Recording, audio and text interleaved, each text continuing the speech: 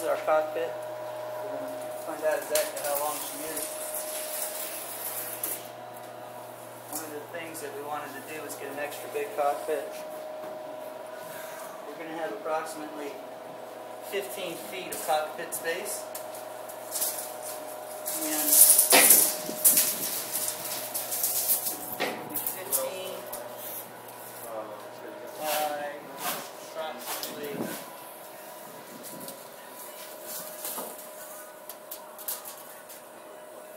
Thirteen and a half. So 15 by 13 and a half is going to be the cockpit.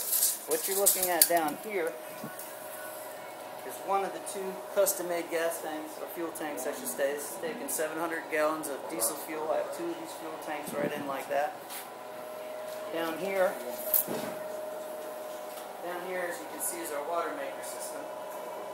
Reverse osmosis. That'll make about uh, 40 gallons of water an hour. And then we step inside the boat, which is the salon. This whole side of the boat here will be the refrigerator, galley, sink, where George is standing. Will be the helm chair, and it'll be three windows going across the top. Down here is our nine and a half kilowatt uh, Kubota generator done by Phasor. And this is our Acert C15 better known as the old 3406E Caterpillar, 865 horsepower. And this is That's a bad boy right there. and this is going to uh, this is going to push us along at about a 22 knot cruise and 28 to 30 knots on the top end, according to how we're loaded up.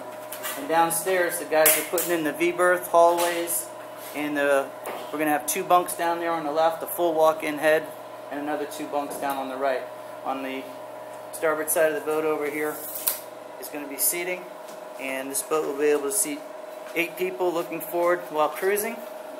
We'll have two 1600 BTU air, air conditioning units in here, so it'll be nice and cozy. And as you can see, George down here at Independence Marine is getting things done on the 46 Wesmac. This is going to be custom fishing, custom fishing machine built exactly the way I.